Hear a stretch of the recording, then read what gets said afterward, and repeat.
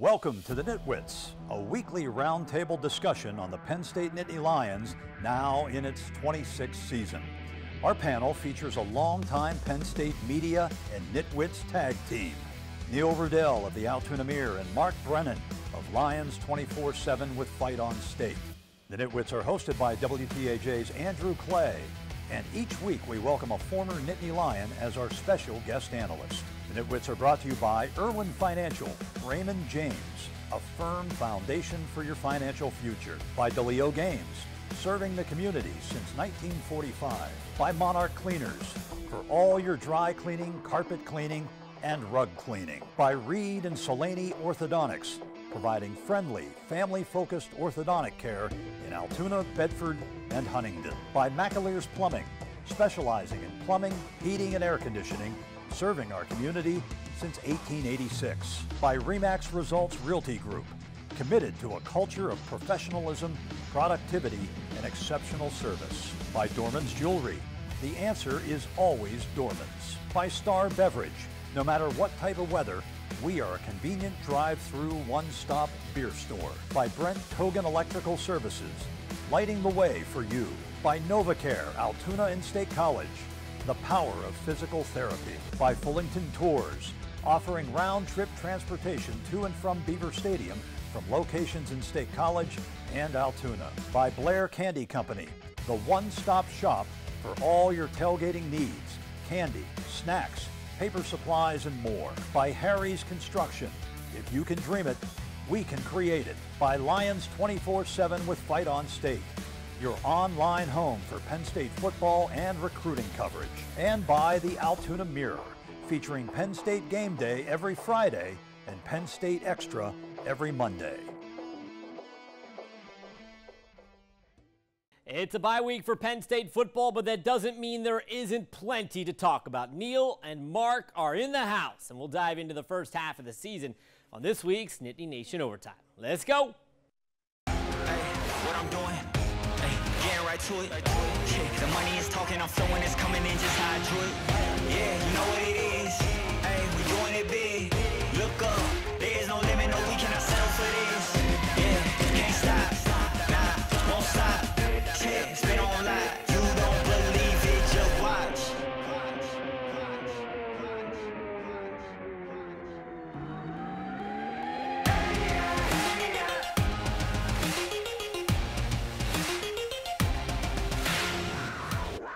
the bye week edition of Nittany Nation Overtime. I'm Andrew Clay, Mark Brennan, Neil Rudel, and Ryan Risky, your nitwit crew of the week. Penn State will play UMass coming up next weekend. We'll talk a whisker about that coming up later in the show. But bye week means it's time to, uh, as they say, self scout, gentlemen.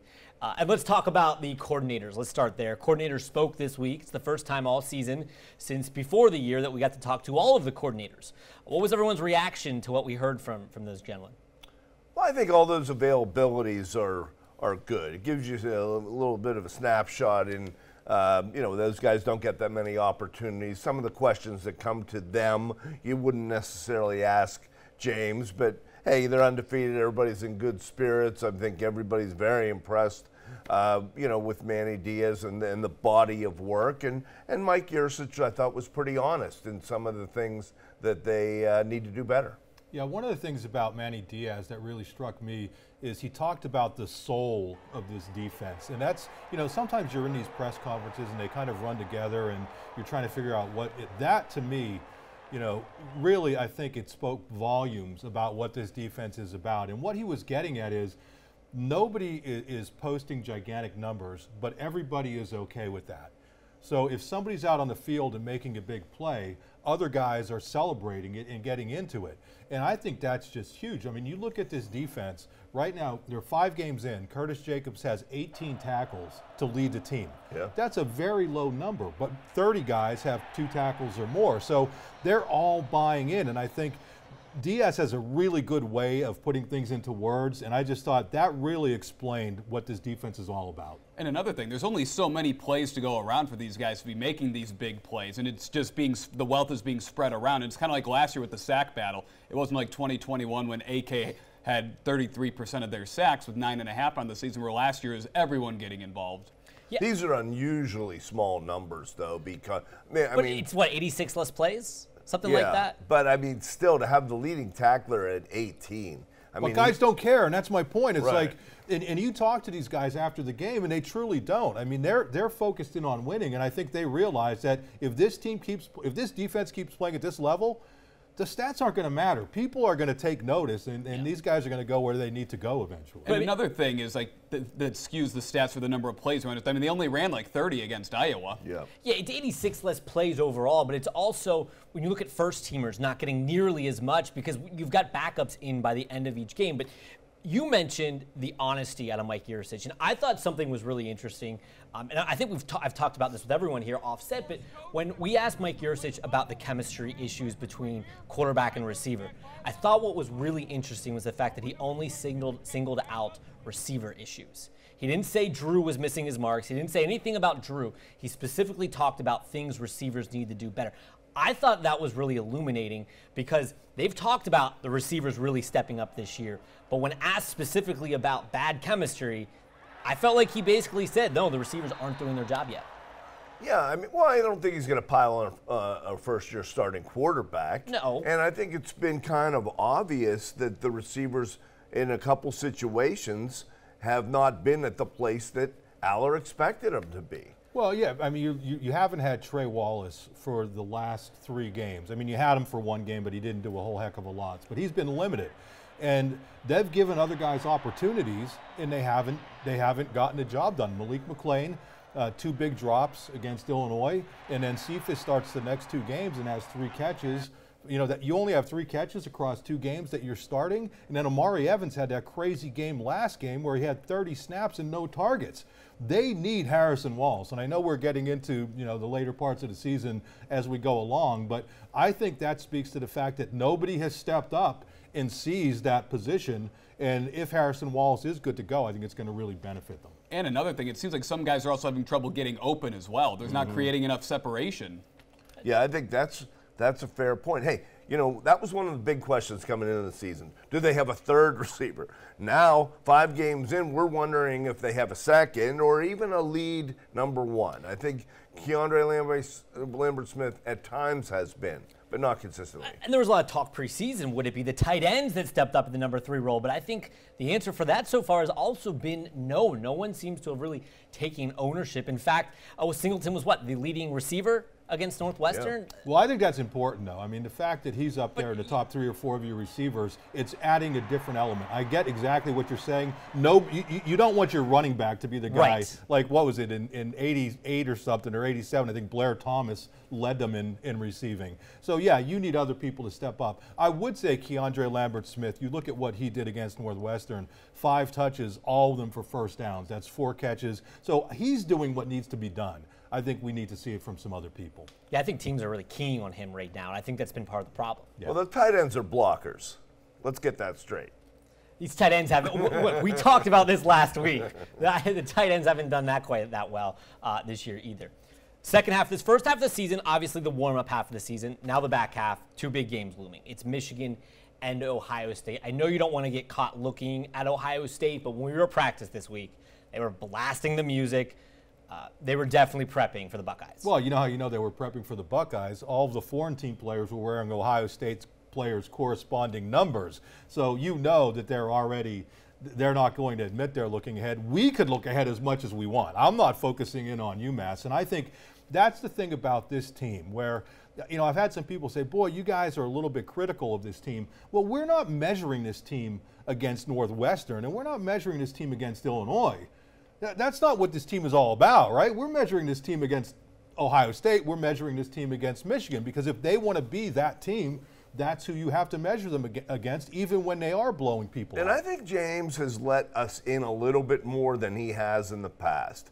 You know, after the Northwestern game, he talked about, you know, down the road, he mentioned, and even last night in his availability, he made a point to say, you know what, in college football, you're trying to win them all. And the margin for error is not what it is in the NFL. And hey, when you talk about them all, you're talking about, you know, two real big games, and we'll see what happens with Maryland.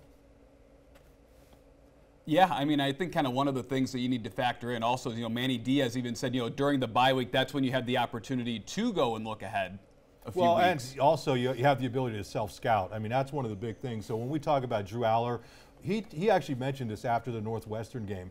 Uh, You know, when you're in the grind of a season in game week, you're looking ahead, looking ahead, looking ahead. One of the good things for everybody on this team, but I think especially with Allar, is they were able to take this week and take a step back and really s- self-examine and self-scout, not only for what they've done, but for where they're going to ultimately go. You mentioned the measuring stick of who you're measuring against. You also have to remember you're measuring against yourself in that the expectations you set preseason to win a Big Ten championship and maybe make the college football playoff.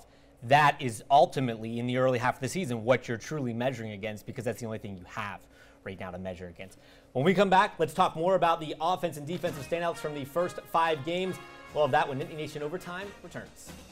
The Nitwits are being brought to you by Irwin Financial Raymond James, a firm foundation for your financial future. By DeLeo Games, serving the community since 1945. By Reed and Selene Orthodontics, providing friendly, family-focused orthodontic care in Altoona, Bedford, and Huntingdon. And by McAleer's Plumbing, specializing in plumbing, heating, and air conditioning, serving our community since 1886.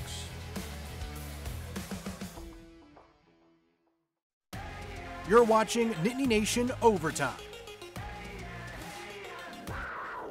Back here on Nittany Nation Overtime, Andrew Clay, Mark Brennan, Neil Rudel, Ryan Risky with you on this bye week. Gentlemen, we are self scouting, as the phrase is of the week, and we are talking about the first five games. Let's talk about the, the players who've stood out. Let's talk about who's everyone's offensive standout of the year. Let's just go down the line here. I mean, Drew Allar. I mean, to me, he's the MVP of the team because you can't really you can't really pick one guy on defense to be the overall MVP because it's so balanced. I think he really epitomizes what this team is all about. Uh, Hard nosed. You know, he's taken some hits and gotten up. He's not made mistakes. He's taken what the de- defense has given him. And we all knew going into this season that a lot of what this team was going to be about was on his shoulders. And I think he's delivered. He- There's still room to grow. To grow. There's still room to improve. But to me, he's my offensive and overall MVP. Yeah, sure. I would I would be on with that. I mean, and the fact that he just got you started right away against West Virginia showed, you know, what he is capable of, you know, rolling out and throwing the big touchdown pass. I mean, I know it's been their big breakout play of the season, but it happened right away. So, yeah, I, I would be, um, I agree with Allar. Absolutely, Allar 100%. Except one guy that kind of stood out to me is Keandre because I had some concerns coming in, you know, based on the way he performed last year. Could he handle that number one role? And he's looked great in it at times, and sometimes you look like you're looking for a little more. Except he's kind of the one guy that who's really separated himself from the rest of that receiver group to try to be that security blanket for Allar. There's no need for me to just repeat what any of you guys said, but I think that's almost concerning. That it, it feels very specific to Drew Allar, and, and while Allar's been good, it's not like we're sitting here saying like, oh my God, Drew Allar, Heisman Trophy. Like Allar's been good, but th- but but it's been nothing greater than that. He has really taken care of the ball. That is certainly, um, obviously, been what he's done best this year. Defensively, Mark, who do you got? Defensively, Curtis Jacobs. I mean, he's leading the team in tackles. He's had a nose for the ball. He, uh, you know, recovering a couple of fumbles, and just he's out on the field an awful lot. You know, they're Kobe King. I love what he's doing, but they're taking him off the field in a lot of those specialty packages, and that's leaving Abdul Carter and Curtis Jacobs out there in the nickel, in the prowler, and they're doing a lot of good things. But I think Curtis Jacobs is a leader. Uh, to me, it's tough on defense, as I said, because it's so spread out. But Curtis Jacobs is, is my guy. Yeah, I, I'd probably, uh, switching gears here, I'd probably have to take the combination of the defensive ends. I think Chop has played well. Um, you know, the, they put a lot of pressure. I saw somewhere, uh, you know, Adisa Isaac uh, as well. But, um, you know, I think they put a lot of pressure. on Pick the one guy. Like Chop Robinson. Like overall, I think it's like every week it's a different guy who's the one who's really stepping up. Like I think at the beginning of the Northwestern game, Kobe King was the one who really set the tone. He had a big sack and tackle for loss on those first two drives, one of which started at their or uh, Northwestern started at their 11-yard line. So uh, you know, I think it's just someone different every week that's been able to set the tone. And you, you know, except the one guy I think you know you're kind of still waiting to get an interception is Kalen King. Well, they I- don't seem like they're going that way. Yeah, and that's not a bad Well, thing. It's just like Joey Porter Jr. when they weren't throwing at him. Uh, like Neil, I'm going to cop out here, and I'm going to pick Manny Diaz uh, because I think what he has done this year has just been uh, outstanding. And, and Penn State fans, I think you, you want to hold on to Manny Diaz for as long as you can, but I don't think it's he's going to get another chance to be a head coach in college football again. Uh, it's just it feels like it's a matter of time at this point. He's going to be able to pick his spot. He's going to be able Yeah. to wait for a good spot to open. He is really good. Yeah, it's not like his Miami tenure was a complete failure. There were really good parts about his Miami tenure, and then you know there were bad parts about his Miami tenure. Like you said, he's going to get to choose. Uh, most in uh, surprising player. I'll go first. Yeah, I'll, I'll go back to the guy I mentioned before, Kobe King. I mean, I think a lot of us think that he basically shared that position with Elsdon last year, but Elsdon started oh, every game last year and logged over 120 more snaps. So he was really the guy. And I know he was banged up in the spring, but Kobe King embraced it and, and seized that job.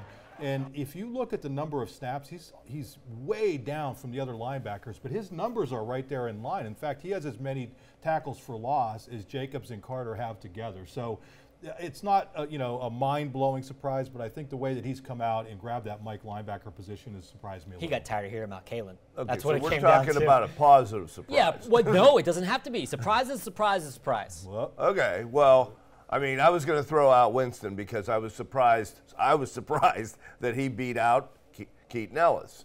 But you know, I got to say, I mean, I expected a little bit more from the running backs in general and Singleton in particular. Yeah, I mean, I think that's something, you know, they haven't had that big run that you've been waiting for. And I'd say, to me, kind of the most surprising player, I think, has been Dom DeLuca.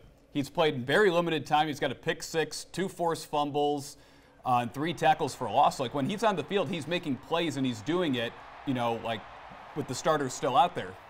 I, I'm with Ryan. I think the Dom DeLuca thing is we knew he'd play.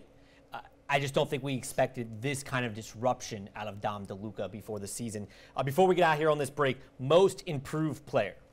Most improved player. Well, I, I, it's kind of. I think it is Kobe King. I mean, I have to go back to him because again, you're looking at a guy who was a backup last year, and what he's done coming over and just taking over uh, that Mike linebacker position. I think he's uh, much better than he was last year.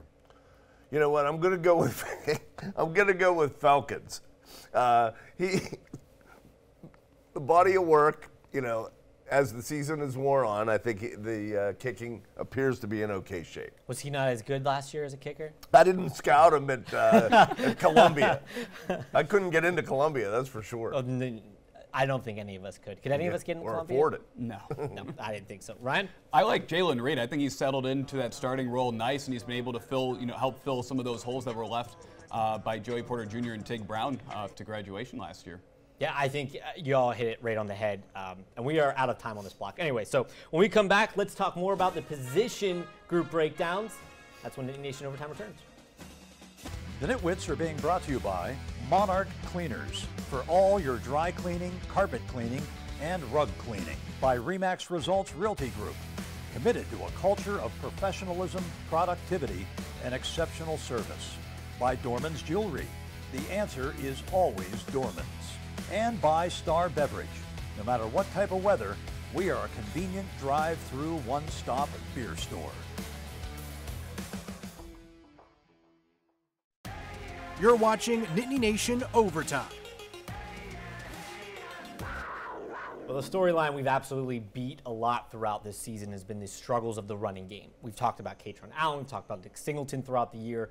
This offensive line was supposed to be one of the best in the country. Has it lived up to that hype through five games? Well, I'd say um, the jury is still out.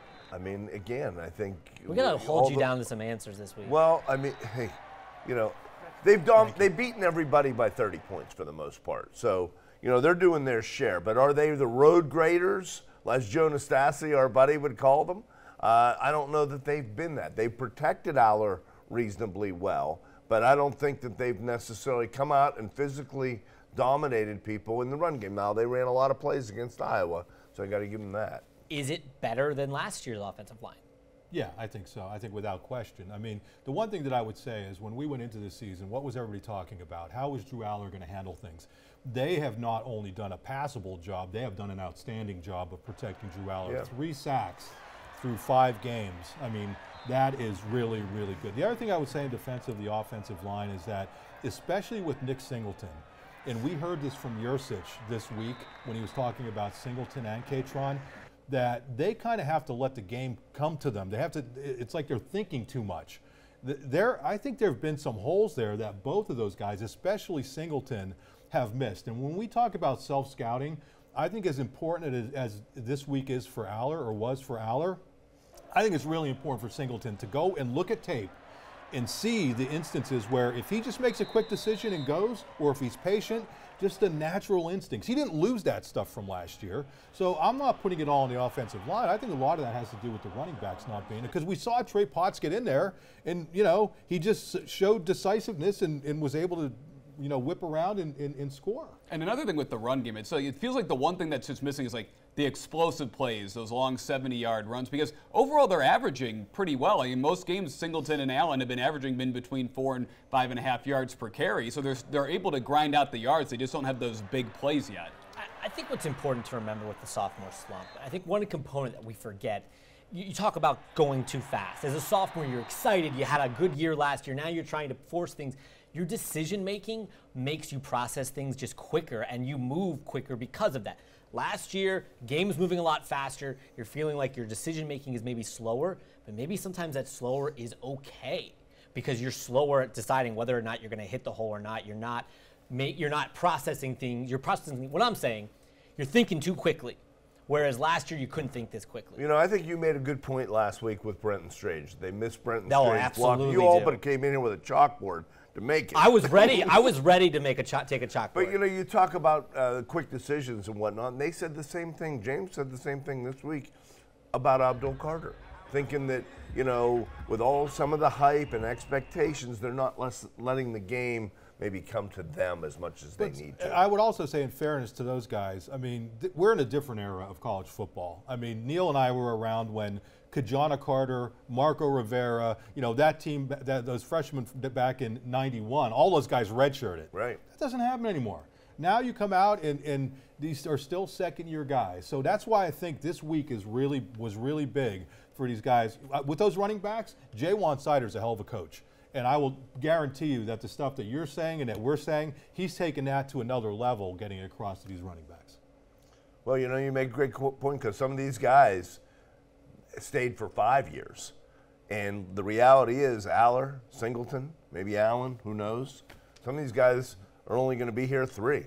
no, the days of the five-year senior is, seems pretty well, pretty well behind. Clifford. So yeah, that's a little different. Okay, okay.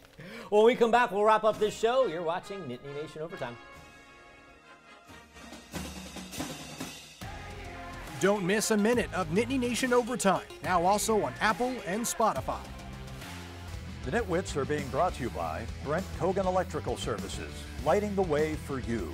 By Fullington Tours, offering round trip transportation to and from Beaver Stadium from locations in State College and Altoona. By Blair Candy Company, the one stop shop for all your tailgating needs candy, snacks, paper supplies, and more. By Lions 24 7 with Fight on State your online home for Penn State football and recruiting coverage. And by the Altoona Mirror, featuring Penn State Game Day every Friday and Penn State Extra every Monday. You're watching Nittany Nation Overtime. It's Penn State UMass next week in Happy Valley. Guys, let's not waste too much time talking about this matchup, but we do need to get our picks in. Uh, we already got one from Shane McGregor, who was our guest picker last week. He went with a 50 burger and a shutout. Mark, let's start No, with Neil. Neil. Yeah. Oh, sorry, Yeah, sorry, yeah, Neil. You got to Uh, get it's rid of foreign territory for Neil winning. Yeah. Nice, Ryan. Everybody's Uh, confused. I'm going to say 48 to 3. yeah, I'll go. Squeezing him. Shane's not here, but you squeezed him. Yeah, I think Penn State's going to put up some points. I will go uh, 62 to 6. Whoa. wow. 45-10. 45-10. You're giving UMass a lot more credit than I would have. Uh, sorry, UMass. I didn't. I didn't. Uh, no, no slight. Uh, anyways, Penn State Big Ten announced its upcoming schedule. Last topic we'll talk about before we get out of here. Uh, any thoughts about the upcoming Big Ten opponents, the home and away? A lot of travel next year. A lot of far travel. Well, they're going to have a heck of a time picking a whiteout game next year. I know that much. I mean, because you have USC. Uh, who am I missing? Ohio State. Yeah, Ohio State and Washington. I mean, that, that's like, how do you how are you going to pick Welcome the? USC to the to the Big Ten with a whiteout. Washington might be the best of those teams. That's what. But I mean, so I, I don't you know, listen. you're looking at these schedules now, and it's kind of mind blowing to see how difficult these schedules are going to be. But that's the new Big Ten, and uh, you know, travel budgets are going to be a little bit more uh, expensive for us. But I love that first uh, home schedule that they're going to have next year. Yeah, it looks to me like you know we focus on the big two each year. You know, Ohio State and Michigan. You're going to have to win three big games a year in order to run the table or to And be in one the of them Big on the West Coast. Right. And maybe even more. They're going to be the years that Iowa's still great, the years that Washington, Oregon, all of that. So, with that though, we are out of time. We'll be back here again next week for Nittany Nation Overtime. But for Ryan Risky, Neil Rudel, Mark Brennan, I'm Andrew Clay. Thanks for watching.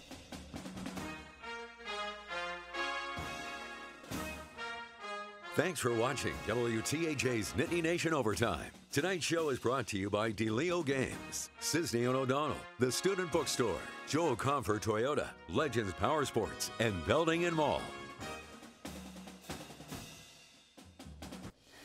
The Nitwits have been brought to you by Irwin Financial Raymond James, a firm foundation for your financial future. By DeLeo Games, serving the community since 1945. By Monarch Cleaners, for all your dry cleaning, carpet cleaning, and rug cleaning.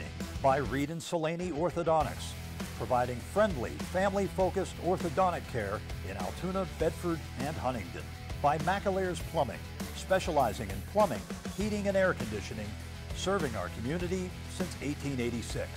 By Remax Results Realty Group, committed to a culture of professionalism, productivity, and exceptional service. By Dorman's Jewelry, the answer is always Dorman's. By Star Beverage, no matter what type of weather, we are a convenient drive-through, one-stop beer store. By Brent Kogan Electrical Services, lighting the way for you. By NovaCare, Altoona and State College, the power of physical therapy.